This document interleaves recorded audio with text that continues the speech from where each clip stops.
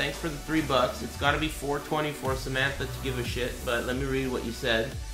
Uh, how do I land the timing for the first part of Oscar's? Combo number four in training mode. The timing always throws me off. Also, what are the practical uses for her falling rain move? Crouch, command grab. Alright, kid. I really like Oscar, so I'll give you a quick answer. I forgot what your questions were. Oh yeah, combo number four and falling rain throw. Easy to answer. Combo number four by Lou Verga. Everyone knows about that. Uh, so this kid is asking me for combo number four by Lou Verga. So combo number four by Lou Verga is this one. What is it? The Rage Drive combo.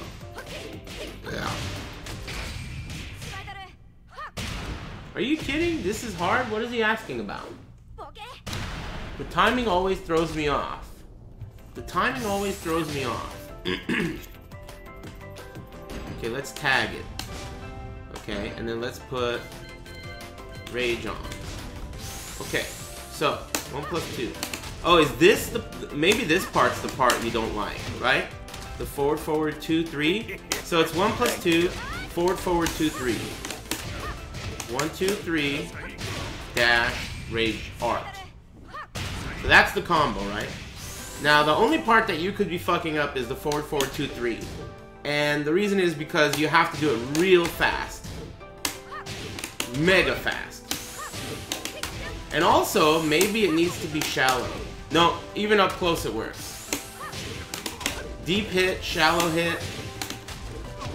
So yeah, you just gotta do it fast. The nice thing about this character though is that for the most part, off of every juggle, you always do forward, forward, 2, 3. For her real juggles, it's always forward, forward, 2, 3, and then the ender you can change, right? So that's nice because you can also remember that.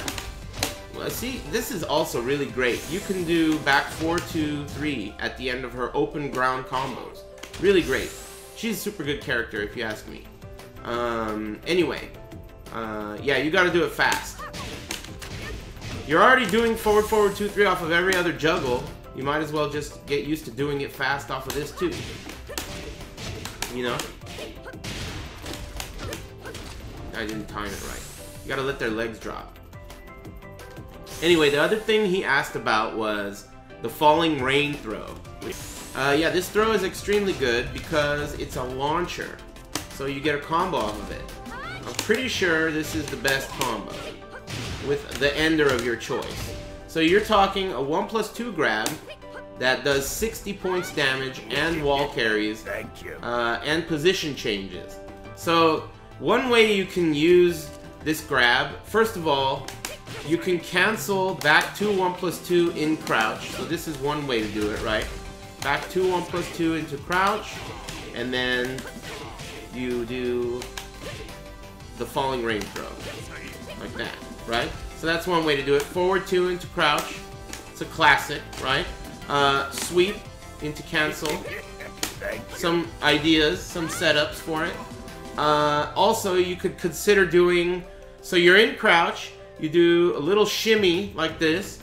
The opponent sees that and thinks, oh, he's going to do a 1 plus 2 throw. So you do the shimmy, and then you just do a regular throw. And they're going to push 1 plus 2 because they're so scared of the falling rain throw. You see what I mean? So there are, oh yeah, while standing 1 plus 2, also an option that ends in crouch. You could cancel it. Uh, there is a bunch of ways to use this. It's good. It's very useful. Because of the damage, the reward off of it is top, top tier. 63 damage? Come on, brew.